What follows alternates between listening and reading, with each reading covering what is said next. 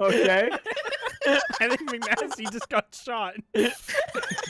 Dude, I, I've been waiting for this day for a long time.